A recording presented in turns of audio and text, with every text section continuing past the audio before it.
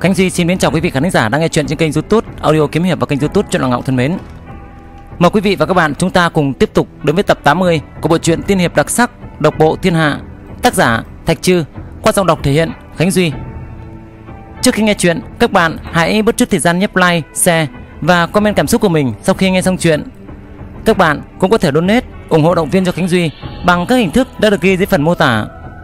Mọi sự ủng hộ quan tâm của quý vị, Khánh Duy xin chân thành cảm ơn. Và bây giờ, để không mất thời gian, mời quý vị và các bạn chúng ta cùng tiếp tục lắng nghe, theo dõi những diễn biến tiếp theo của câu chuyện ngay sau đây.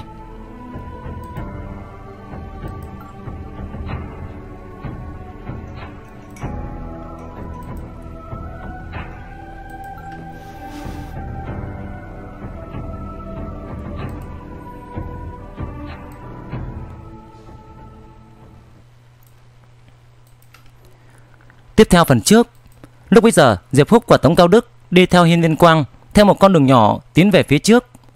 Đột nhiên trong không trung vang lên tiếng nhạc mừng, ba người ngẩng đầu nhìn lại, chỉ thấy những cánh hoa từ trên trời rơi xuống, mùi thơm lạ lùng trải khắp. Không trung có một tòa lô bồng chậm rãi rớt xuống. Trong tòa lô bồng kia, sáu bảy thiếu nữ giống như tiên tử, thái độ phóng khoáng, xinh đẹp vô cùng, vần quanh một thiếu nữ trẻ tuổi mang khăn che mặt. Nàng mặc một chiếc áo trắng mỏng như lụa mỏng, thân hình nhiều điệu. Tuy rằng không thấy rõ bộ mặt của nàng, nhưng làm cho người ta nhìn thấy rõ là nàng ôm trong lòng một cái đàn cổ, nhẹ nhàng kích thích quyền cầm, thanh âm thùng thùng rung động. Lô bồng rớt xuống, biến mất bên trong một tòa nhà lớn cách đó không xa. Ba người Diệp Húc đi tới trước Thính Vũ Hiên, chỉ thấy sản nghiệp của Nguyên Thủy Thánh Tông lúc này đã chật như đêm cối. Người ra vào tấp nập. Thính Vũ Hiên là sản nghiệp của đại phái chính đạo Nguyên Thủy Thánh Tông. Không có bao nhiêu người dám làm càn ở trong này. Tuy rằng người tới rất nhiều, nhưng cũng không có bao nhiêu người dám can đảm mà xâm nhập vào bên trong. Pang một tiếng, trên không trung hai đầu sao long, một đen một trắng bay qua, rơi vào bên trong Thính Vũ Hiên, giống như hai đạo cầu vồng, chỉ thấy một nam tử áo tím chân dẫm lên song dao, chậm rãi đi tới, thẳng vào Thính Vũ Hiên. Hắn khí thế kinh người, sang sảng cười nói: "Tần tiên tử, Tô Mỗ kính đại danh tiên tử đã lâu, đáng tiếc vô duyên gặp gỡ, tiên tử sao không sốc lên khăn che mặt, khiến Tô Mỗ thấy được phương dung một phen đi." Tô Mạch Phong, Tô công tử đi vào rồi kìa, đi vào rồi. Có người thở dài nói, Hài, hắn là nhân vật thiên tài của âm dương tông, thân phận quý trọng, có thể đi vào được. Nhưng thân phận chúng ta không bằng hắn, chỉ có thể ở bên ngoài mà thôi. Đột nhiên, trên không trung bảy đạo sáng mờ, lay động, không gian dựng thẳng lên một đám mây tía, dài tới hơn 10 dặm, rơi thẳng vào trong thính vũ hiên. Chỉ thấy bên trong đám mây tía này có một người trẻ tuổi đi tới. Hắn sắc mặt vàng như nến, dường như có bệnh trên người vậy, nhu nhược cười nói: "Tô huynh, Tần Thiên Tử còn đang túc trực bên linh kiễu, làm sao có thể gỡ khăn che mặt xuống được?" Cơ vô bệnh, cơ công tử cũng đã tới rồi kìa. Bên cạnh Diệp Húc, một vũ sĩ chính đạo cảm thán nói: "Nghe nói, khi cơ công tử sinh ra, thể nhược nhiều bệnh, bởi vậy cơ gia tộc trưởng mới gọi hắn là vô bệnh. Cơ công tử quả thực rất được, tuổi không đầy 50, đã tu luyện tới tam dương cảnh, dương thần kỳ đỉnh cao rồi. Đáng tiếc, bệnh của hắn vẫn không tốt hơn trước.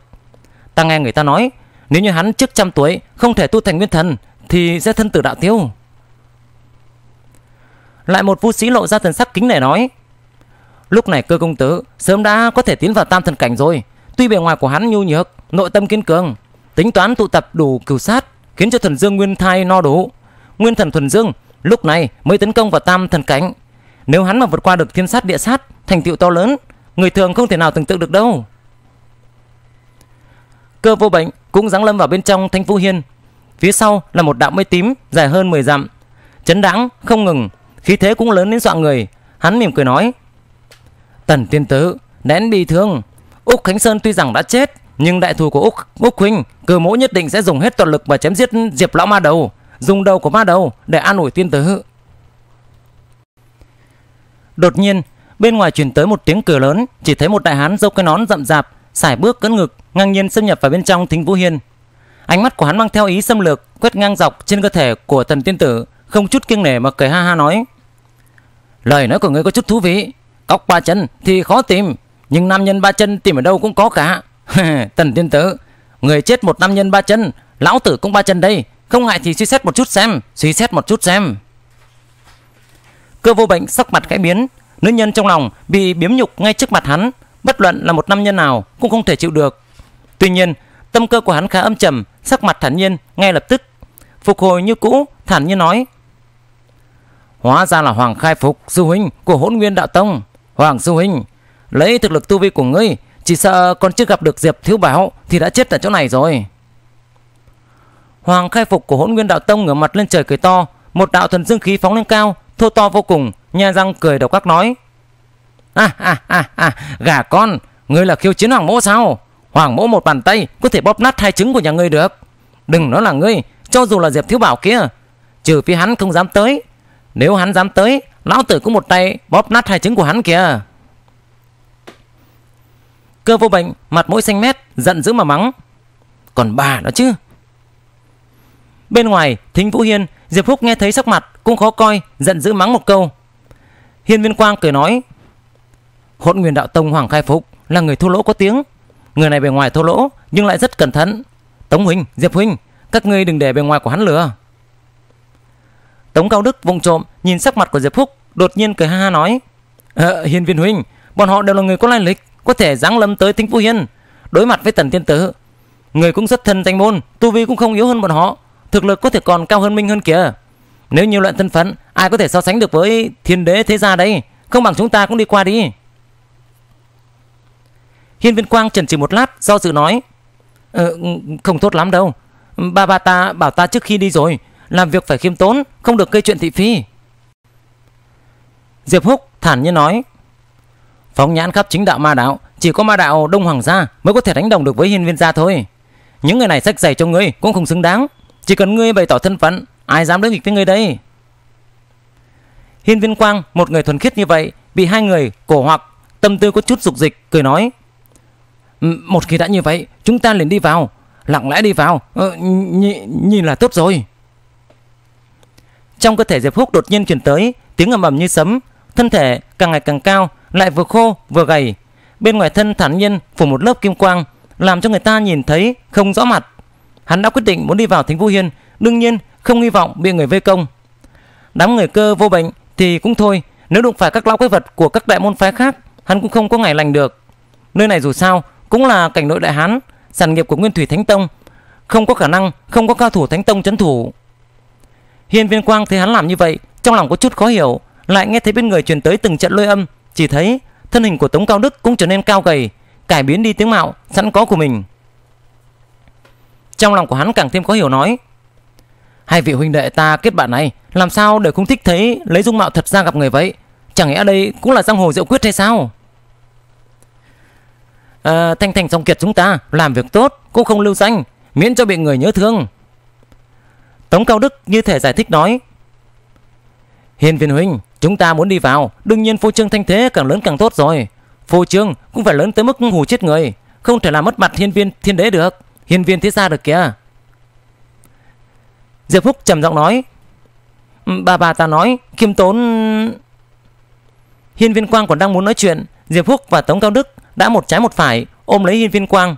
Ba người phóng lưng cao Diệp Phúc trầm giọng quát khẽ. Khi thế đột nhiên phát ra thần uy như ngục, hiên viên quang từ trên không trung đã giáng lâm.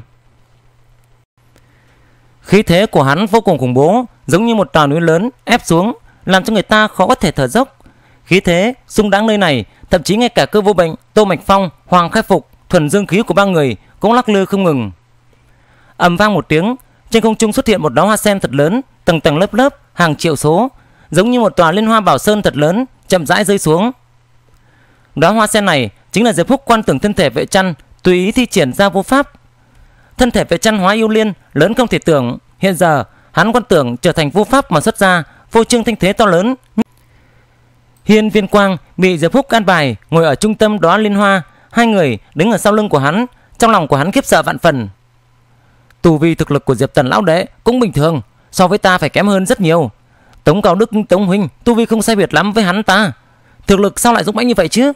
Chỉ sợ ta không tế ra hiên viên, hiên viên gia bảo Cũng sẽ không phải là đối thủ của hắn ta rồi À Trong thính vũ hiên Tần khả khanh hô nhẹ một tiếng ngẩng đầu nhìn về phía trước Mắt lộ ra ánh sáng kỳ dị Khí thế thật mạnh Liên hoa như sơn chậm rãi rơi xuống Đi vào bên trong thính vũ hiên Từng cánh hoa trồng chất bảo quang thẳng hướng tận trời, giống như một đạo quang trụ, lồng lộng lay động, có vẻ trầm trọng vô cùng. Hiên viên quang, hiên viên công tử giáng lâm, người rảnh rỗi tránh lui. Tống Cao Đức trầm giọng nói. Ồ, hiên viên quang, vô trương rất lớn nha. Tô Mạch Phong hừ lạnh một tiếng, sắc mặt không hài lòng nói. Tần tiên tử không có ý kiến, chẳng lẽ ngươi có ý kiến sao? Diệp Phúc cánh mắt lạnh lạnh nhìn hắn, giọng điệu già nua, dường như tuổi rất lớn rồi. Công tử nhà ta, trong cơ thể chảy xuôi huyết mạch hiên viên thiên đế, tôn quý vô cùng. Phô trương to lớn như thế thì làm sao? Tô Mạch Phong sắc mặt khẽ biến, khi thấy bức nhân cười khanh khách nói: "Hôm nay Tần tiên tử giáng lâm nơi này, ta cũng không cùng nô tài bình thường sau đó. Hiền Viên Quang, hôm qua ta hứng ngươi khiêu chiến, ngươi không dám ứng chiến, hôm nay trước mặt Tần Tiến tử, Diệp lão ma đầu kinh hồn trắng đám, không dám lộ mặt, nếu không mời hắn, tổ mô cũng chém được. Hiền Viên Quang, cả lương không bằng bạo lực, người có dám chiến một trận với ta hay không?" Công tử nhà ta là thiên kiêu chi tử, sao có thể so đo với người bình thường được? Hiên Viên Quang ngồi ở phía trên liên hoa, chính là muốn đứng lên. Diệp Húc đặt một bàn tay lên đầu vai của hắn, điểm như nói: "Tiểu bối, ngươi mở miệng ra là Hiên Viên Quang, Hiên Viên Quang, cái tên này cho ngươi kêu được hay sao? Quỳ xuống cho ta." Bên trong liên hoa bảo sơn, một bàn tay to xuất hiện, hướng tới Tô Mạch Phong ép xuống. Bàn tay to này lớn như trời xanh, năm ngón tay lạnh lạnh bao phủ thiên địa, làm cho người ta vừa thấy đã có cảm giác không thể chống đỡ. Tô Mạch Phong tức giận cười lớn, dựng thân lên, trong mắt thần quang khởi động, cả giận mà nói: "Hiền Viên Quang, một người hầu của ngươi cũng dám động thủ với ta sao? Còn dám bảo ta quỳ xuống ư? Được, ta sẽ chém tên người hầu này của ngươi, sau đó kéo ngươi từ trên liên hoa xuống, xem ngươi giả thân giả quỷ như thế nào." Xẹt một tiếng, hai mặt một đen một trắng của hắn, âm dương nhiệt khí trong mắt hắn bắn ra, giống như hắc bạch song dao. Một đạo âm khí hướng tới bàn tay to của Diệp Phúc cắt đi, một đạo khác lại hướng tới Liên Hoa Bảo Sơn mà xoắn tới. Đôi mắt đẹp của Tần Khả Khanh lay động, chỉ nghe thấy một thiếu nữ bên cạnh nhỏ giọng cười nói: "Tô công tử, thực lực quả nhiên không kém, có thực lực báo thủ cho Úc cô ra.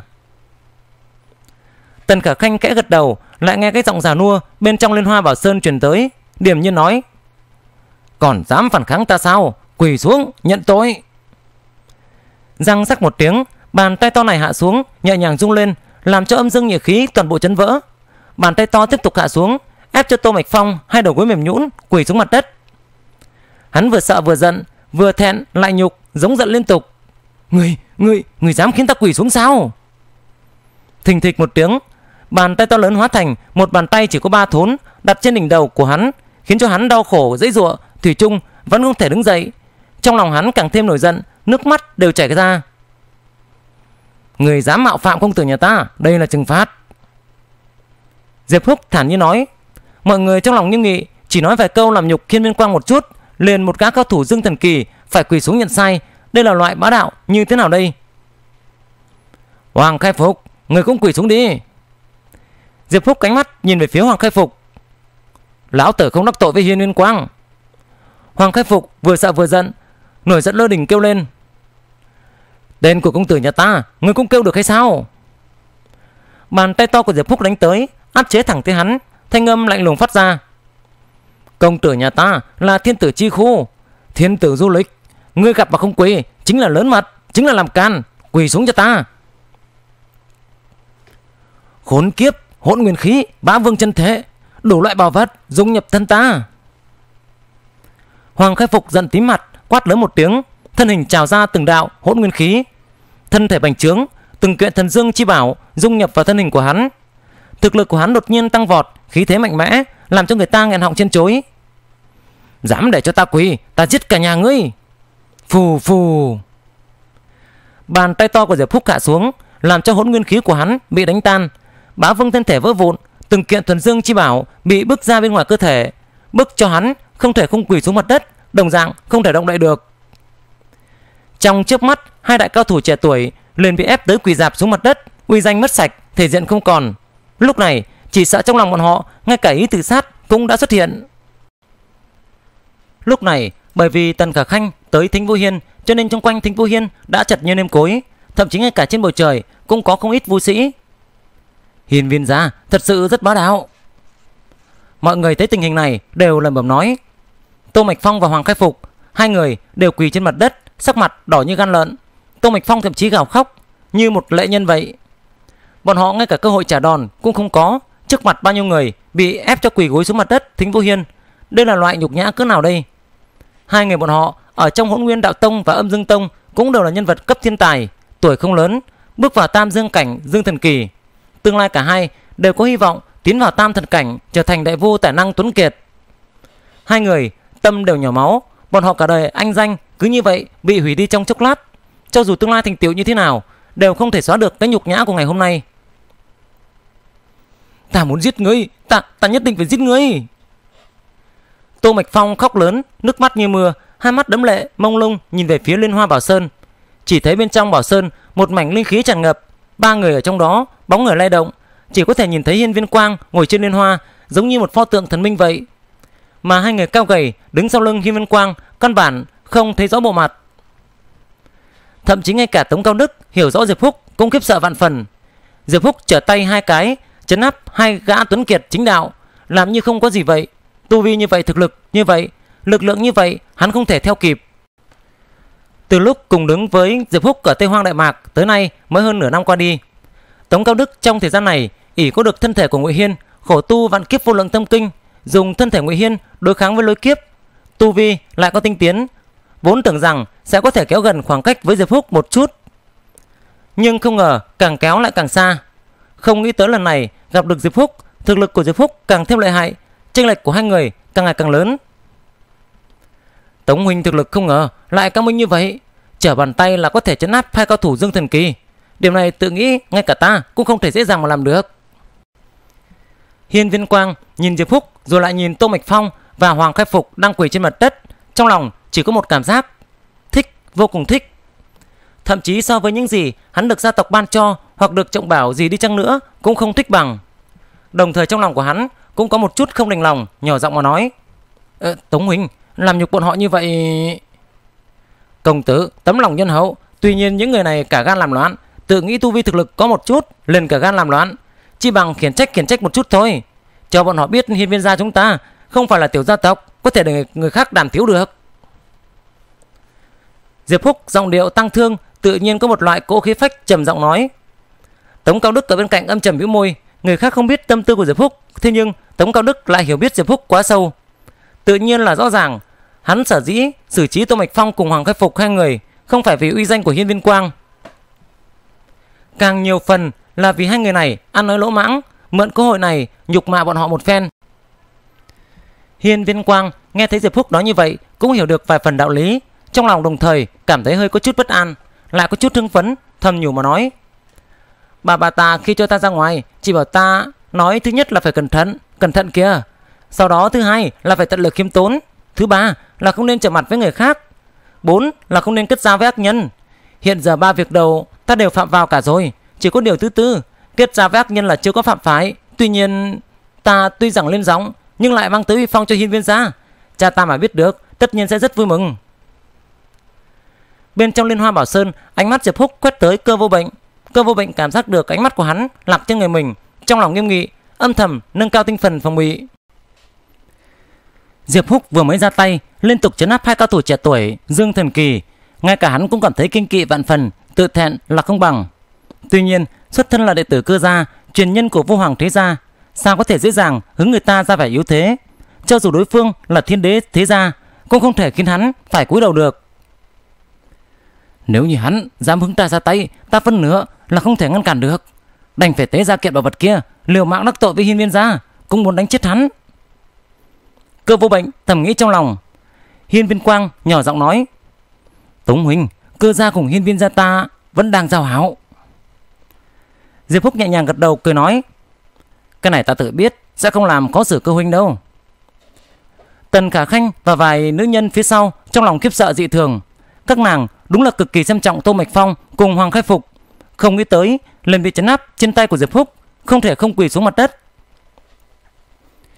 Vừa ra tay liền chấn áp hai vị vũ sĩ Dương Thần Kỳ, tu vi bậc này cho dù không phải là tam thần cảnh, chỉ sợ cũng không cách quá xa. Hiền phiền huynh, hai người này tuy rằng đối với ngươi bất kính, nhưng tội cũng không nắng. Khả Khanh bạo dạn xin Hiên Viên huynh buông tha cho bọn họ, miễn cho Âm Dương Tông và Hỗn Nguyên Đạo Tông trở mặt với nhau. Tần Khả Khanh chân thành đứng dậy thi lễ cười nói. Hiên Viên Quang vội vàng đáp lễ, quay đầu nhìn về phía Diệp Phúc, nhỏ giọng dò hỏi: "Tống huynh, ừ, ý của ngươi như thế nào?" Tần Khả Khanh thấy thế, trong lòng có chút kinh ngạc, nàng vốn tưởng rằng Diệp Phúc là người hầu, là phụng mệnh bảo hộ Hiên Viên Quang. Hiện giờ xem ra, Hiên Viên Quang xử sự còn phải hỏi ý kiến của Diệp Phúc, lần biết sự, chỉ sợ suy nghĩ lúc trước của mình là có chút sai lầm. Chẳng lẽ là trưởng bối của Hiên Viên gia sao? Rất có khả năng. Nàng thầm nghĩ trong lòng, đúng là càng thêm tò mò với thân phận của Diệp Phúc. Diệp Phúc thản nhiên nói: "Thiếu gia, hai người này làm nhục Hiên Viên gia ta, xứng đáng chịu nhục. Âm Dương Tông thì thế nào chứ? Hỗn Nguyên Đạo Tông thì thế, thế nào? So với Thiên Đế gia ta hay sao?" Lại nói, hai người này tâm cao khí thịnh, tự cho mình là cao nhân. Lão phu làm nhục bọn họ một phen, làm cho bọn họ biết trở cao đất rộng. Đối với bọn họ sau này rất có lợi cho tiến cảnh tu vi của mình kìa. Tần Khả Khanh âm thầm cười khổ. Hoàng Khai Phục và Tô Mịch Phong, hai người bị hắn làm nhục như vậy, chỉ sợ sau này tu vi dù có tinh tiến cũng sẽ bị hạ xuống tâm ma. Ánh mắt của Tần Khả Khanh chớp động, chỉ thấy Diệp Phúc như trước đứng sau lưng Thiên Minh Quang, quanh thân tràn ngập kim quang, vẫn không thể thấy được rõ bộ mặt của hắn. Trong lòng lại càng thêm tò mò cười nói: "Hiên Viên huynh, sao không tán đi lên Hoa Bảo Sơn? Khả Khanh bên người có nhiều ghế, Hiên Viên huynh có thể tới gần đây trò chuyện với nhau, có vẻ thân cận với nhau một chút được không?" Hiên Viên Quang đại hỉ, vội vàng đi xuống khỏi Liên Hoa Bảo Sơn, hướng tới người của Tần Khả Khanh. Diệp Phúc tán đi vô pháp, cùng với Tống Cao Đức đi theo sau Hiên Viên Quang.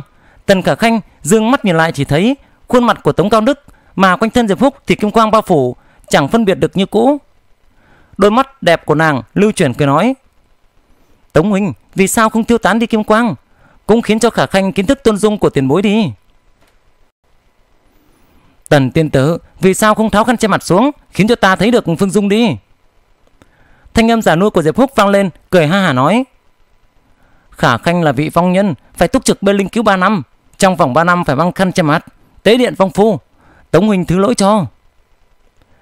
Giọng nói của nàng ảm đạm, nước mắt buông xuống, trong suốt ướt át, dường như rất yếu đuối. Diệp Húc sắc mặt biến đổi, dường như bị Tần Khả Khanh cảm động, trầm ngâm mà nói: "Tống mộ cũng có ẩn tình, Tống mỗ trước kia tung hành giang hồ, hoành hành một thời, sau lại bị hiên viên trưởng xá thuyết phục, đường đường là một thế gia thế hệ cường giá, phải làm nô tài cho hiên viên gia, thực sự cũng không phải là chuyện tốt đẹp gì cả. Thật không dám giấu giếm, tông mỗ tên cũng là giá, miễn cho người ta biết được tướng mạo sẵn có của mình, hỏng hết uy danh trước kia đã có. Tần Khả Khanh thì hắn nói như vậy, lúc này cũng đánh mất tâm tư thấy mặt của hắn. Nàng đau khổ suy tư, gần đây có việc cường giả tam thần cảnh nào mai danh ẩn tích không? Hoàng huynh, Tô huynh, hai người sao lại quỳ ở trong này vậy? Đột nhiên một thanh âm chuyển tới, Diệp Phúc nhìn lại, chỉ thấy một thanh niên hoàng bào dáng lâm tính Vũ Hiên, ánh mắt chớp động, cười lạnh mà nói: "Ai làm vậy vậy? Thật to gan, không ngờ dám để cho Âm Dương Tông và Hỗn Nguyên Đạo Tông đệ tử quỳ xuống như vậy sao?" Hoàng Khai Phục và Tô Mạch Phong, hai người nhìn thấy người này, vừa thẹn lại vừa xấu hổ, hận không có cái lỗ để mà chui xuống. Tống huynh, thanh niên hoàng bào kia tên là Yến Trắc Nhiên, là cao thủ Thiên Đạo Tông. Hiên Viên Quang hướng tới Diệp Phúc nhỏ giọng giải thích nói: Yến Trạch Nhiên tu vi cực cao, đã luyện tới Dương Thần Bát Phẩm, tu vi cực đoan thâm hậu, thẳng truy theo cao thủ Hóa Thần Kỳ. Hắn là đệ tử thân truyền của tông chủ Thiên Đạo Tông. Thiên Đạo Tông chủ từng cực kỳ thưởng thức Ngũ Khánh Sơn. Nghe nói nữ nhi tông chủ có cảm tình với Úc Khánh Sơn, tự định ra trung thân. Yến Trạch Nhiên nhất định là tính toán đi tới di chỉ kinh đô cuối thời thương tìm Diệp Lão Ma, cho nên mới tới nơi này. Lại có một người trẻ tuổi từ trên trời giáng xuống, nhìn Hoàng Khai Phục và Tô Mạch Phong quỳ cúi xuống đây, hơi hơi lay động quạt xếp cười nói: "Hoàng huynh, Tô huynh, hai người đang đùa cái gì vậy?" Hai người càng thêm xấu hổ, xấu hổ vô cùng. Vị thanh niên mặt trắng này là Lăng Thiếu Phong, đệ tử thân truyền của trường giáo Đại Phạm Âm Lôi Tứ. Hiên Viên Quang tiếp tục giới thiệu cho Diệp Phúc. Lại có một số người tới Thính Vô Hiên, những người này đều là tài năng tuấn kiệt của các môn phái chính đạo Đại Hán Quốc tập trung một chỗ. Hiên Viên Quang phân biệt hướng Diệp Phúc giới thiệu một lần, thuộc như lòng bàn tay. Hắn tuy rằng lần đầu tiên ra khỏi nhà, nhưng hiên viên thế gia, thế lực hùng hậu, chính là thiên đế gia, tin tức rộng lớn, đúng là đối với cao thủ các phái đều có chú ý. Hiên viên quang lần này ra ngoài, phụ thân hắn bức hắn phải ghi nhớ diện mạo của các cao thủ này. Hoàng khai phục cười thảm. Yến huynh, Lăng huynh, các người không cần phải nói, Hôm nay lão tử coi như gặp hạn, bị hiên viên quang chấn áp lúc này. Một đời thanh danh bị hủy trong chốc lát rồi. Yến chắc nhiên sắc mặt tức giận, ánh mắt lạnh lạnh, nhìn lại hiên viên quang, cười lạnh mà nói. Hiên viên huynh, làm cũng hơi quá đáng một chút rồi. Thiếu gia nhà ta làm cái gì, còn không tới lượt ngươi bình luận. Tống Cao Đức đứng ở sau hiên viên quang, cười lạnh mà nói. Yến chắc nhiên tinh quang trượt lóe trong mắt, cười ha hả, giọng điệu lạnh lạnh nói. Nô tài của hiên viên gia, không ngờ dám nói chuyện với ta như vậy sao? Xem ra hiên viên huynh rất uh, thiếu gia giáo rồi. lên để cho ta thay ngươi, giáo huấn nô tài của ngươi một chút đi. Sau đầu của hắn hiện lên nguyên thai thật lớn, phạm vi vài trăm mét, tràn ngập thuần dương khí. Bên trong nguyên thai hiện ra một đầu hỏa viên cực lớn, cao tới vài trăm mét. Đột nhiên nổi giận, gầm lên một tiếng, giơ vút mà chụp tới. Xoẹt một tiếng, hỏa viên móng vuốt sắc bén đâm phá nguyên thai thuần dương, cánh tay tăng vọt chụp tới Tống Cao Đức. Nửa bước hóa thần, Yến chắc nhiên đã tu luyện tới dương thần kỳ, cửu phẩm, chỉ kém một chút nữa là bước vào tam thần cảnh, hóa thần kỳ. Hiên Viên Quang sắc mặt khẽ biến, tính toán đứng dậy thay Tống Cao Đức tiếp một kích này. Yến chắc nhiên nguyên thần, một bộ phận thân thể của hỏa viên kia đã bước nhập vào tam thần cảnh, hóa thần kỳ, hấp thụ sức mạnh vô biên bên trong nguyên thai thuần dương. Hắn chạm một cái, dĩ nhiên có vài phần khí tượng của cường giả tam thần cảnh.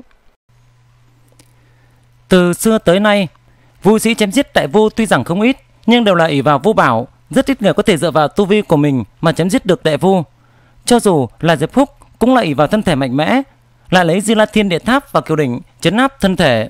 Lúc này mới đánh bại được Ngụy Hiên.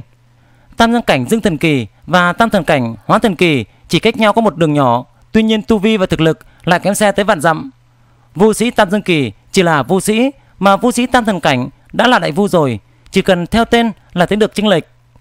Yến chắc nhiên tu luyện tới Dương Thần Kiều phẩm, Nguyên Thần Thuần Dương, nửa bước khóa thần cảnh giới. Nguyên thần của hắn ra tay đã có một hai phần uy lực của cường giả tam thần cảnh rồi. Tuy rằng chỉ có một hai phần uy lực nhưng không phải là nhỏ chút nào. Hỏa viên một chảo đi qua, đâm phá không khí, truyền tới những tiếng huyết gió chói tai. Cả tòa Thính Phú Hiên bấp bênh trong sóng to gió lớn, lắc lư không ngừng. Dường như bất cứ lúc nào cũng có thể bị một kích này của hắn phá vỡ. Hiên Viên Quang sắc mặt lạnh lùng, Yến Chất Nhiên đánh một kích này chỉ sợ không đơn giản là khiển trách Diệp Tần như vậy, chỉ sợ ngay cả mình cũng tính toán công kích rồi. Yến Chất nhiên hiển nhiên tính toán đánh bại ta khiến ta xấu hổ một phen đấy. Hắn tuy rằng thật thà chất phác nhưng tuyệt không có nghĩa là ngu ngốc. Hắn lập tức nghĩ tới Diệp Húc đã ép Hoàng Khai Phục và Tô Mạch Phong hai đại cao thủ quỳ xuống mặt đất. Nếu như Yến Chất nhiên có thể thoải mái đánh bại chủ tớ ba người bọn họ thì uy danh hiển hách như thế nào đây? Hành động này của Yến chắc nhiên chẳng những có thể kết hảo với âm dương tông và hỗn nguyên đạo tông khiến cho Hoàng Khai Phục và Tô Mạch Phong cả đời cảm kích mình hắn càng tuyên dương thanh danh của mình, khiến tên tuổi của hắn lan tràn, yêu đãi rất nhiều. Người này đích xác lợi hại, cho dù ta toàn lực ứng phó chỉ sợ cũng không tiếp được mấy chiêu, chỉ có thể vận dụng kiện nguyên thần chi báo mà cha đưa kia thôi. Hiên Viên Quang đang muốn tế ra vu bảo bản thân, đột nhiên thấy Diệp Húc hoành thân đứng trước người hắn, thanh âm trầm thấp già nua, trầm giọng mà nói: "Thiếu gia, một tên tiểu bối còn không đáng để cho thiếu gia tự mình động thủ, người này giao cho ta đi." Hiên Viên Quang trong lòng cảm động vạn phần. Tống lão huynh thật sự là nghĩa khí. Sau khi xong chuyện nơi này, nhất định phải kết bái với hắn. Yến chắc nhiên hừ lạnh nói. Hiên Viên Quang, hai người không dám ra tay, chỉ dám cho người hầu chắn chức tìm chết thế sao? Sao? Chịu chết ư? Diệp Phúc cười ha ha, thanh âm giả nua vô cùng, điểm như nói. Tiểu bối, người quá cuồng vọng rồi.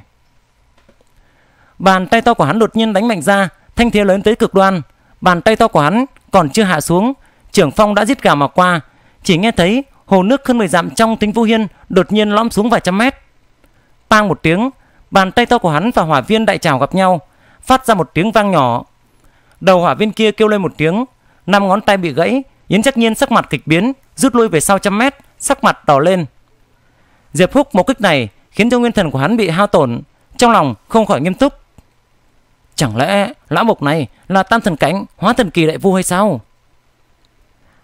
Diệp Phúc trong lòng cũng cả kinh, hắn phát ra một trường này là toàn lực, tuy rằng không dùng bất kỳ vu bảo nào, cũng không có nguyên thần thêm vào, nhưng Yến Tất Nhiên đồng thời cũng không vận dụng vu bảo, không ngờ chỉ bị thương rất nhỏ. Việc này thuyết minh thực lực của Yến Chất Nhiên cho dù không bằng với hắn cũng kém không xa. Nếu Vu Bảo trên người Yến Chắc Nhiên không bằng hắn, Diệp Phúc chém giết hắn tự nhiên là không nói chơi. Nếu Yến Chắc Nhiên có được Vu Bảo, có thể dẹp ngang bảo vật của Diệp Phúc, thắng bại là rất khó nói. Yến Chắc Nhiên không kém, Lăng Thiếu Phong cũng không đi xa, còn có đại phạm ông Lôi Tự là thánh, Khổng Gia, Khổng Thiếu Du đều là cường giả nhất đẳng. Vũ sĩ chính đạo đại hán, nhân tài xuất hiện lớp lớp, ta tuyệt đối không thể vì chiến thắng được Ngụy Hiên mà khinh thường anh hùng thiên hạ được. Diệp Phúc thầm nghĩ trong lòng, tiểu bối, người có thể tiếp được của ta một trường này mà không chết đi, tu vi cũng không kém. Diệp Phúc làm ra vẻ cười ha hả nói. Yến chắc nhiên hừ lạnh một tiếng, nhìn chăm chăm vào Diệp Phúc, chỉ thấy kim quang lồng thể, hắn căn bản không thấy rõ được bộ dạng của người bên trong. Hóa ra tiền bối là đại vua tam thần cánh, hóa thần kỳ. Các hạ tuổi lớn như vậy rồi mà Yến mỗ lúc này mới được có trăm tuổi. Tiếp sau không lâu, Yến mỗ sẽ đuổi theo được tu vi của ngươi. Nhưng thật ra cũng phải nhìn xem, ngươi có thể tiếp ta một trưởng mà không chết hay không thôi. Giọng điệu của hắn vẫn kiêu ngạo như cũ, làm như không nhìn thấy Hoàng Khai Phục và Tô Mạch Phong, ngang nhiên đi vào trong thính vô hiên rồi ngồi xuống. Diệp Húc cười ha hả nói: "À à à à à, tiểu bối, người có tin lão phu hiện tại một trường chụp chết người hay không?" Yến chắc nhiên sắc mặt kịch biến, đứng dậy, lạnh giọng nói: "Các hạ, ta niệm ngươi là tiền mối của Yến mỗ, cho nên mới bỏ qua, hay ngươi thực sự nghĩ Yến mỗ sợ ngươi sao?"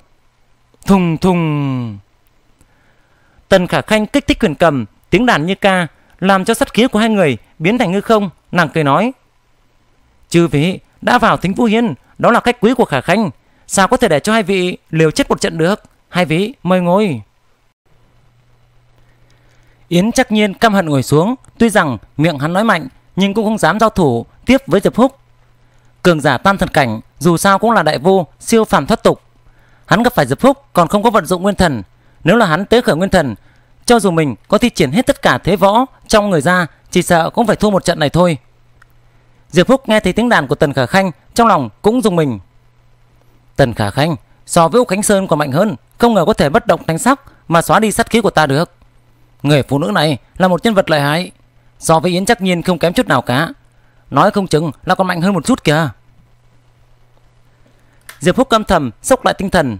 Hiện giờ vũ bảo của hắn Kiều Đình chấn áp nguyên thần Ngụy Hiên, riêng là Thiên Địa Tháp chấn áp nguyên thần thứ hai của Vệ chăn thậm chí ngay cả nguyên thần của hắn cũng bị vận dụng. Hiện giờ hắn chỉ có khả năng sử dụng bảo vật còn lại là thần sát thứ nhất, cái đạo não màu trắng kia. Tuy nhiên, nếu tế ra thần sát thứ nhất, không thể nghi ngờ là tuyên bố hắn chính là Diệp Húc rồi. Tới lúc đó, đối mặt với nhiều cường giả, đại hán vây công, cho dù là hắn cũng phải nuốt thận mà thu chàng. Những ngày đó ở hải vực Kiềm Hải, Kim tinh đồng tử lọt vào đám người viên thiên công vây đánh, thậm chí thân hình còn bị viên thiên công đập nát, thần hồn trọng thương, huống chi là hắn đây. Tống huynh, khả khanh có yêu cầu quá đáng, mời tiền bối có thể thả hoàng huynh, tô huynh một lần được không? Tần khả khanh mặt không đành lòng, dịu dàng cười nói. Tiền bối đã trừng phạt bọn họ, bọn họ cũng đã biết sai rồi. Diệp Phúc khẽ mỉm cười, thu hồi chân nguyên đại thủ ấn chấn áp hai người, rồi cười nói: Tiên tử đã nói, tông mỗ tự nhiên tòng mệnh rồi. Tô Mạch Phong hồn bay phách lạc, chậm rãi đứng dậy, ánh mắt mờ mịt, đột nhiên quát to một tiếng, che mặt mà đi. Hắn bị Diệp Phúc làm nhục một lần, không còn mặt mũi nào tiếp tục ở lại. Hoàng khai phục vỗ vỗ cho bụi ở đầu gối, dường như chuyện vừa rồi chưa hề phát sinh vậy. Hắn bước vào thính Vũ Hiên, tìm hàng ghế ngồi xuống. Người này tâm tính ẩn nhẫn, nhìn như thì thô lỗ vậy, thế nhưng nội tâm kiên định, giống như bàn thạch vậy, là một nhân vật đáng giá để mà xem xét đấy. Diệp Phúc ánh mắt nhìn lên người của Hoàng Khai Phục có chút tán thưởng hắn. Lăng Thiếu Phong chậm rãi đi vào thính Vũ Hiên cũng ngồi xuống cười nói. Hôm nay không có nhìn thấy Hiên Viên Huynh ra tay thực sự là chuyện đáng tiếc mà. Tuy nhiên có thể nhìn thấy Tần Tiên Tử thật sự là một chuyện khiến cho người ta phải vui vẻ. Mấy người khác cũng tiến vào thính Vũ Hiên Khổng Thứ Du mỉm cười nói Đáng tiếc vô duyên Không thể thấy được dung nhan của Tần Tiên Tử làm cho người ta có chút than tiếc mà. Khổng mỗ thậm chí có chút ghen tị với Úc Khánh Sơn, Úc huynh đệ. Úc huynh đệ tuy rằng bị Diệp Lão Ma hại chết, nhưng có gia nhân như Tần Tiên Tử vì hắn che lộ trắng, giữ đạo 3 năm. Trong vòng 3 năm không một người nào ở trong thiên hạ có thể nhìn thấy khuôn mặt khuynh quốc khuynh thành của nàng. Chẳng phải là quá đáng tiếc hay sao? Hắn ăn nói rất tốt, nói chuyện êm tai động lòng người, làm cho người ta không thể không tán thưởng tả ăn nói của hắn, không hổ là xuất thân thế gia. Tần Khả Khanh thở dài, buồn bã nói. Khổng huynh cứ nói đùa, Khả Khanh là vị phong nhân, sao có thể lộ mặt được? Nghe nói Diệp Thiếu Báo quyết chiến với lão ma đầu Ngụy Hiên bị thương nặng, tính toán đi qua cảnh nội của Đại Hán, đi tới di chỉ kinh đô cuối thể thương. Khả Khanh lúc này mới đi không ngừng ghi nghĩ tới nơi này, tính toán lấy đầu của lão ma, tế điện vong phu. Mọi người kính nể hẳn lên, La Thanh cười nói: "Diệp Thiếu Báo, lão ma đầu kia quả thực là to gan lớn mật mà. Hắn nếu một mình im lặng đi tới di chỉ kinh đô cuối thể thương này thì cũng thôi, không ngờ còn đi khắp nơi tuyên truyền, nào tới thiên hạ đều biết cả. Người này ta phải giết." Tần Khả Khanh nhấp nháy mắt, chân thành đứng dậy, hướng mọi người chào một cái, khí phun như lan, hạ giọng nói: "Tiểu nữ tử, một thân nhu nhược, chỉ sợ không phải là đối thủ của ma đầu, mong rằng chư vị có thể tương trợ." Khả Khanh nghe thấy vong phu gặp phải bất chắc, mấy lần khóc ngất đi, ngã xuống đất không dậy nổi kìa. Nàng thở dài, buồn bã nói: "Vong phu chết ở trong tay Diệp lão ma, thi cốt không còn, Khả Khanh đã từng thề, nếu ai có thể lấy được đầu của lão ma kia xuống, Khả Khanh lấy thân báo đáp, bất kể là thê hay thiếp, có danh phận hay không, bất kể là tả hay chính, hoặc là yêu ma, Khả Khanh đều không chuẩn bước. Nghe nói như thế, mọi người tim đập thình thịch. Vừa rồi bọn họ tuy rằng nói hay lắm, nhưng nếu thực sự Diệp Phúc tới đây, ma uy cái thế như trong truyền thuyết vậy, nói không chừng bọn họ chưa chắc đã dám đồng thủ. Nhưng có những lời này của Tần Khả Khanh đủ để cho bọn họ liều mạng. Cái đầu của Diệp Phúc ý nghĩa là của cải và địa vị không thể tưởng tượng nổi. Trên người hắn chẳng những có của cải và vu bào cực kỳ khổng lồ, hơn nữa, thiếu chủ của Chu Thiên Tinh Cung còn trao thưởng 100 linh mạch bậc 4 cho người nào lấy đầu của hắn. Tiểu Quang Minh Thánh Địa, Thiên Đạo Tông và Nguyên Thủy Thánh Tông lại càng treo giải thưởng thêm kinh người. Không chỉ có như thế, cầm đầu hắn mang đi Thiên Yêu Cung liền có thể trở thành con rể yêu chủ Thiên Yêu Cung phò mã. Hiện tại, Tần Cả Khanh cũng nguyện ý lấy thân báo đáp, thậm chí không cần bất luận danh phận gì. Quả thực so với con rể của yêu chủ còn muốn mê người hơn. Thử nghĩ mà xem, một nhân vật như tiên tử thế này trở thành tiểu thiếp, thậm chí trở thành tình nhân, kim mốc tầng kiều. Nhà vàng giấu người đẹp, trong mắt người khác, nàng vẫn là tiên tử được người người ngưỡng mộ. Nhưng trong bóng tối, nàng lại là của một mình mình độc chiếm. Nghĩ đùa bỡn thế nào thì đùa bỡn, muốn cho nàng làm động tác tư thế nào đi chăng nữa cũng được. Cảm giác thành tựu siêu việt cỡ nào đây? Thiên tử không cần phải lãng phí chính mình như vậy. Khổng Thứ Du thở dài cười nói Khổng mô gia học uyên nghiên Từng kế thừa một môn viễn cổ thuật pháp Tên là tiên thiên thần toán Có thể tính người tính vật có thể suy ra được vị trí đại khái của Diệp Lão Ma kia. Không biết chư vị trên người có vật bên người của Lão Ma đầu kia không? Bất kể quần áo hay là vu báo Đều có thể được. Tiểu đệ mượn cái này tính ra vị trí của ma đầu. Sau đó chúng ta quy mô đuổi theo giết sát Trừ hại cho thiên hạ. Diệp Phúc trong lòng lập tức cảm thấy không ổn. Tần Khả Khanh đôi mắt sáng lên, lấy ra mấy khối vu bảo, tàn phiến cười nói: "Tiểu Quang Minh Thánh Địa, tiền bối đã từng đánh nát kiều đình của hắn, Khả Khanh cất chứa mấy mảnh vỡ này, bên trong kiều đình này ẩn chứa tinh khí của ma đầu kia." Khổng Thiếu Du mừng rỡ cười nói: "Có đồ vật này rất tốt, rất tốt rồi." Hắn tới khởi vu bảo cũng là một quyển thiên thư rầm rộ triển khai, trong đó vô số văn tự cuộn tròn du động bên trong bức họa, rậm rạp vô cùng, một cỗ thư hương khí phả vào mặt mọi người. Khổng Thiếu Du cầm lấy một khối kiều đỉnh tàn phá, rút một lỗ tinh khí bên trong đó ra, nhét vào trong cuốn thiên thư này, lập tức thúc giục thiên thư suy tính phương vị của Diệp Phúc. Tống Cao Đức không khỏi cảm thấy khẩn trương, Diệp Phúc trong lòng cô hồi hộp. Náo động lớn rồi, chẳng lẽ ta thật sự phải đại khai sát giới, huyết tể lạc không thành ư? Mọi người cẩn thận xem xét cuốn thiên thư chỉ thấy những văn tự quái dị trong đó vặn vẹo, các đường cong phân loạn, không chút trưng tiết, quả nhiên giống như thiên thư bình thường vậy. Cuốn thiên thư này tên là Hà Lạc Tàn Đô, chính là một kiện vũ bảo thượng cổ không trọn vẹn. Khổng gia ta nghiên cứu cũng không ít năm tháng, nhưng chưa từng nghiên cứu ra nguyên lý bên trong đó. Nhưng thúc giục vài phần uy năng của Hà Lạc Tàn đồ cũng là có thể. Khổng Thiếu Du cười nói, lập tức sắc mặt của hắn khẽ biến, kinh thanh nói: "Sao? Diệp Húc ma đầu đang ở trong vòng trăm dặm rồi sao?" Diệp Húc nghe tới đó, trong lòng không khỏi thở ra một cái thầm nghĩ. Hây, phạm vi 100 dặm là quá lớn. Nếu hắn có thể tập trung tới vị trí của ta, cho dù nơi này là sản nghiệp của Nguyên Thủy Thánh Tông, ta cũng không thể không đại khai sát giới được. Tống Cao Đức cũng nhẹ nhàng thở ra. Thính Vũ Hiên dù sao cũng là sản nghiệp của Nguyên Thủy Thánh Tông, Tần Khả Khanh chính là thánh nữ của Thánh Tông. Nguyên Thủy Thánh Tông khẳng định sẽ phá cao thủ mà bảo hộ. Nếu thân phận của Diệp Phúc bị bạo lộ ra nhiều cao thủ như vậy, hơn nữa lại có cao nhân của Nguyên Thủy Thánh Tông, chỉ sợ cho dù là Diệp Phúc cũng phải lành ít dữ nhiều. Trong vòng trăm dặm sao, xem ra ma đầu hẳn là tới chỗ này rất nhanh. La Thanh sắc mặt cái biến, trầm giọng mà nói. Ma đầu kia, thậm chí có thể đã vào Lạc Vương Thành rồi. Hoàng Khải Phục cũng điểm như nói. Yến chắc nhiên tâm thần kích động, cười lớn. Hừm, khổng huynh, phạm vi trăm dặm quá lớn, không biết có thể thu nhỏ lại được một chút hay không. Khổng thứ Du cắn răng nói. Hey, lấy thực lực của ta, còn chưa thể thúc giục hoàn toàn được vua bảo này. Đem tiên thiên thần toán suy diễn tới mức tận cùng được. Nếu là có thể suy diễn tới mức tận cùng, tất nhiên có thể tập trung được vị trí của Diệp Lão Ma, đưa hắn vào trong vòng 10 mét kìa. Hắn ngẩng đầu lên, trầm giọng nói: "Trừ vị, các người tu vi cao thâm hơn xa khủng mỗ, nếu có thể giúp ta một tay, thúc giục bảo vật này, tất nhiên có thể hoàn toàn thôi phát ra uy lực của thiên thư, suy tính ra vị trí chuẩn xác của Diệp Lão Ma." Vị trí chuẩn xác ư? Diệp Phúc trong lòng nghiêm nghị, sắt khí nảy mầm, lặng lẽ ra hiệu với Tống Cao Đức. Tống Cao Đức hiểu ý, bất cứ lúc nào cũng chuẩn bị bùng lên mà giết người. Hai người âm thầm đề phòng, chỉ thấy Yến Chắc Nhiên, Lăng Thiếu Phong, đám người lướt nhìn nhau, nhất tề cười nói: "Một khi đã như vậy, chúng ta đồng loạt ra tay, đồng thời thuê phát bảo vật này." Ong ong ong. Một quả thuần dương nguyên thai cực lớn từ sau đầu của Yến Chắc Nhiên và sáu người khác, các loại nguyên thai nguyên thần sung đãng không ngớt, giết gào không ngừng. Sáu đại nguyên thai đều xuất hiện, nguyên thần thuần dương tràn ngập khí tức khủng bố như sóng thần.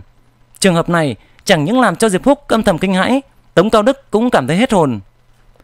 Thậm chí ngay cả Tần Khả Khanh đang bất động thanh sắc, cùng vài thiếu nữ ở phía sau cũng không kìm nổi ngạc nhiên và thán phục.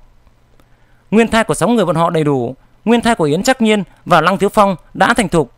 Hai người bọn họ đều có cảnh giới dương thần cửu phẩm, nửa bước hóa thần cường giả, nguyên thần mạnh gần với đại vu. Tu vi của sáu người bọn họ thêm một chỗ, hoàn toàn có thể dẹp ngang một đại vu hóa thần kỳ. Hiên Viên Quang thấy thế cũng không kiềm nổi tâm động, tính toán tế khởi thần dương nguyên thai của chính mình lên. Diệp Húc lấy tay đè lại đầu vai của hắn, khẽ lắc đầu. Hiên Viên Quang trong lòng kinh ngạc, tuy nhiên rất nghe lời Diệp Húc, tuy rằng buồn bực nhưng không mở miệng hỏi nguyên nhân. Chỉ thấy nguyên thai nguyên thần của sáu người Yến chắc nhiên đều dũng mãnh Tiến vào bên trong cuốn thiên thư kia Nhưng thấy thiên thư đột nhiên đại phát hào quang Vô số văn tự kỳ lạ bắt đầu khởi động Bay múa rầm rộ ở trên không trung. Diệp Húc sắc mặt âm trầm Một quả mô thai đã dung nhập vào trong nguyên thần thần sát thứ nhất Bất cứ lúc nào cũng chuẩn bị ra tay giết người. Khổng Thứ Du khóe miệng đột nhiên lộ ra một tia cười yêu tà Miệng hắn càng ngày càng đậm hơn. Rốt cuộc cũng không kiềm nổi Mà cất tiếng cười to Thanh âm vang dội cao vút thẳng hướng trời cao. Diệp Phúc vốn đã tính toán bùng lên, thấy Khổng Thiếu Du cười tới tà dị vô cùng, lúc này đã dừng lại, bình tĩnh xem biến. Khổng huynh, người chấn áp nguyên thần nguyên thai của chúng ta, đây là ý gì vậy? Yến chắc nhiên chắn đầy mồ hôi lạnh chảy xuống, sắc mặt tái nhợt run giọng nói. Nguyên thần của hắn vừa mới tiến vào trong cuốn thiên thư, lại phát hiện ra ở trong thiên thư có không gian khác. Nguyên thần nguyên thai của bọn họ lập tức bị khí tức cùng mạnh bên trong thiên thư phong ấn, chấn áp bên trong thiên thư. Khổng huynh, ngươi là nho vu thế gia khổng gia truyền nhân, chấn áp nguyên thần nguyên thai của chúng ta, chẳng lẽ không sợ lan truyền ra ngoài, khổng ra các ngươi chịu nhục hay sao? Hoàng khai phục chán đầy mồ hôi, to như hạt đậu, miễn cưỡng cười nói: Nguyên thần nguyên thai của bọn họ đều bị chấn áp bên trong cuốn thiên thư kia, một thân tu vi và thực lực hồn nhiên không thể phát huy ra được. Sinh tử bị Khổng Thiếu Du khống chế.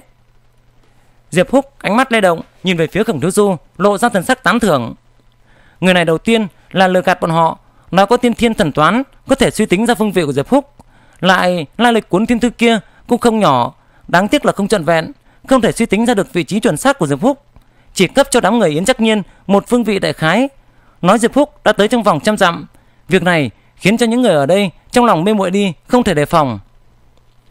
Đợi những người này tới khởi nguyên thần, nguyên thai, dũng mãnh đi vào trong thiên thư, đó hoàn toàn là bẫy dập của hắn, hết thảy bị hắn chấn áp. Cuốn thiên thư kia cái gì mà tin thiên thần toán thượng cổ không trọn vẹn đây? Rõ ràng là bảo vật tiểu tử này luyện chế, chuyên môn dùng để hại người. Lăng Thiên Phong điểm như nói. Khổng huynh, khổng gia lão tổ tông các ngươi chính là hiền giá, nho vu đại thánh, đường đường là vu hoàng thế gia. Không ngờ cũng sử dụng cái loại thủ đoạn tam lưu này mà đi hại người. Sáu người chúng ta đều là truyền nhân của các đại thế gia. Chẳng lẽ ngươi không sợ thế lực phía sau chúng ta khai chiến với khổng gia hay sao? Nguyên thần nguyên thai của ta đang biến yếu. Hẳn là hắn đang tuân phệ nguyên thần nguyên thai của chúng ta rồi. Luyện hóa tu vi của chúng ta kìa. Khổng gia là chính đạo phu hoàng thế gia. Căn bản không có khả năng có được thủ đoạn ma đạo này. La Thanh sắc mặt xanh mét, nhìn chằm chằm vào Khổng Thiếu Du, lạnh giọng mà nói: "Người không phải là Khổng Thiếu Du, người rút cuộc là ai?" Cơ Vô Bệnh và một người khác cũng gầm lên không ngừng, chỉ trích Khổng Thiếu. Tần Khả Khanh không có tham dự vào việc tế luyện này, chân thành mà đứng dậy, lạnh lùng nhìn Khổng Thiếu Du, thản nhiên nói: "Vị huynh đài này, ngươi không phải là Khổng Thiếu Du, như vậy người chính là Diệp Húc, Diệp Thiếu Bảo hay sao?" Khổng Thiếu Du ngửa mặt lên trời cười to, đắc ý giật rào nói: Diệp Thiếu Bảo ư, hắn là cái gì vậy? Ta sao có thể là cái loại người có tiếng xấu như vậy chứ? Thủ đoạn của ta còn hơn hắn gấp trăm lần, thực lực của ta cũng vượt qua hắn quá nhiều. Tần tiên tử, người so hắn với ta cũng kinh thường khủng bố quá rồi. Khí thế của hắn càng ngày càng mạnh, càng ngày càng cao, tu vi của hắn lấy một tốc độ khủng khiếp mà tiêu thăng. Mà tu vi cùng khí thế của đám người Yến Trắc nhiên lại càng ngày càng yếu đi. Diệp Thiếu Bảo, ngay cả sách giày cho ta cũng không xứng kìa. Hắn cười ngạo nghễ nói, Hoàng Khai Phục kêu lên một tiếng thảm thiết, ngã vật xuống mặt đất. Một tòa bảo tháp từ trong cơ thể hiện ra, phân giải thành một đạo linh quang phiêu tán khắp nơi. Một kiện tuần dương vô bảo từ trong không gian ngọc lâu rơi xuống. Các loại tài liệu, linh mạch rơi rụng xuống mặt đất. Nguyên thần nguyên thai của hắn rõ ràng đã bị khổng thú du thôn phệ luyện hóa, tử vong ngay tại chỗ. Vì cao thủ trẻ tuổi hỗn nguyên đạo tông này, từ khi đi vào thính vũ hiên vô cùng nghẹn khuất. Trước thì bị Diệp Phúc một trường chấn áp, quỳ dạp trên mặt đất sau lại bị khổng thú du lừa nguyên thần nguyên thai hết thảy tiến vào bên trong cuốn thiên thư kia ngay cả một chút thực lực cũng không thể xuất ra ngoài được nguyên thần nguyên thai bị đối phương luyện hóa cướp đoạt trực tiếp chết thảm tại chỗ diệp phúc vốn có chút tán thưởng hoàng khai phục cho rằng hắn tâm trí cứng cỏi tâm trí vững như bàn thạch, là nhân vật kiêu hùng, tương lai tất có một phen thành tựu nhưng cũng không ngờ, hoàng khai phục lại chết nghẹn khuất như vậy đường đường một nhân tài, rơi vào kết cục như vậy, làm cho người ta phải tức hận không ngừng Người kia, quá là độc ác rồi. Tống Cao Đức nói với Diệp Húc. So với ngươi, còn độc ác hơn. Tuy nhiên tiểu tử này, làm sao có khả năng luyện hóa nguyên thần nguyên thai của người khác được. Đem tu vi của người khác chuyển hóa thành của mình được. Mọi người đều biết Vu sĩ khác nhau bởi vì nguyên thần khác nhau. Tu luyện tâm pháp khác nhau. Chân nguyên cũng sai biệt với nhau. Nếu như tùy tiện hấp thu tu vi của người khác sẽ chỉ làm cho chân nguyên từ bản thân và chân nguyên dị chủng xung đột lẫn nhau tẩu hỏa nhập ma mà chết Khổng Thứ Du trực tiếp thân phệ tu vi của Hoàng Khai Phục. Loại thủ đoạn này vượt quá tầm kiến thức của Tống Cao Đức. Diệp Húc sắc mặt ngưng trọng, nhỏ giọng nói: "Nguyên Thủy yêu tông, Nguyên Thủy vạn hóa quy nguyên kinh." Đích thực là Nguyên Thủy yêu tông vạn hóa quy nguyên đại pháp, chỉ có tâm pháp này mới có thể luyện hóa tu vi của người khác được.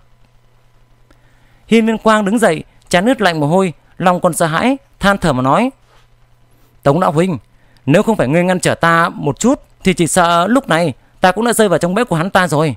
Nguy hiểm thật, thật là nguy hiểm. Tống huynh, ta nợ ngươi một mạng.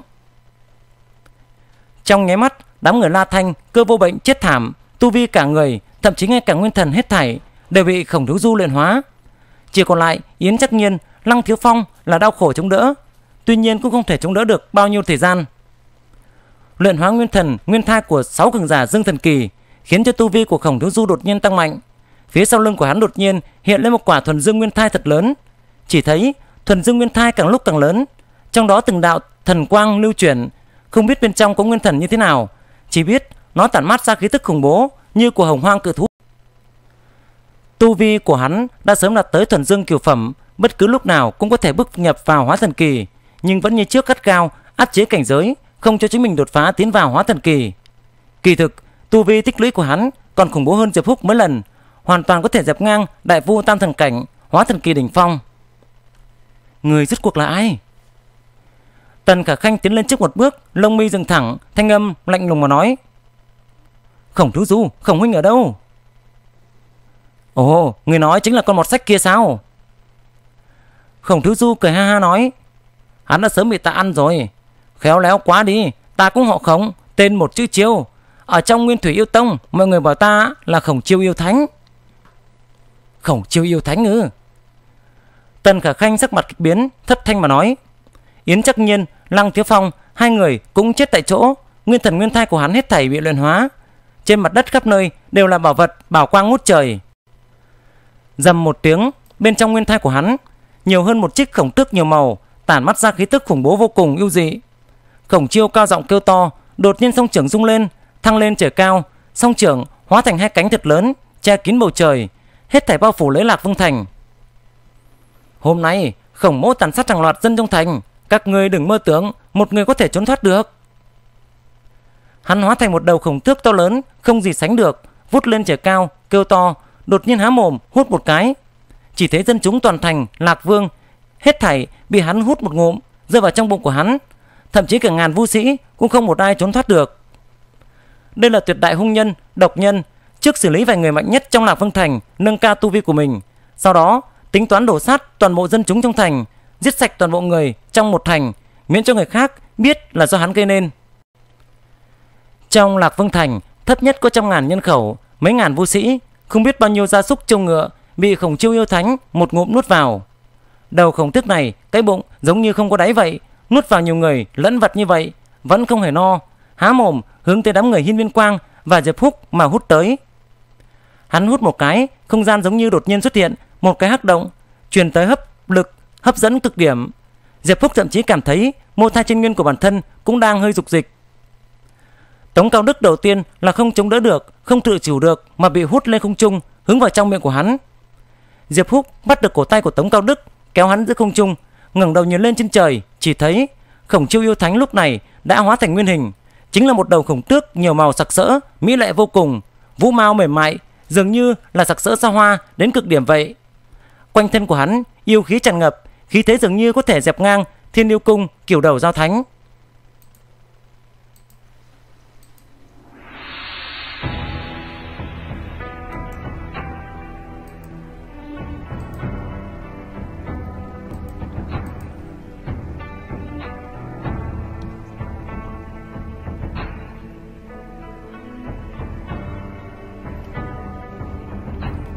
Kính thưa quý vị khán giả thân mến, tập 80 của chúng ta tạm thời kết thúc tại đây.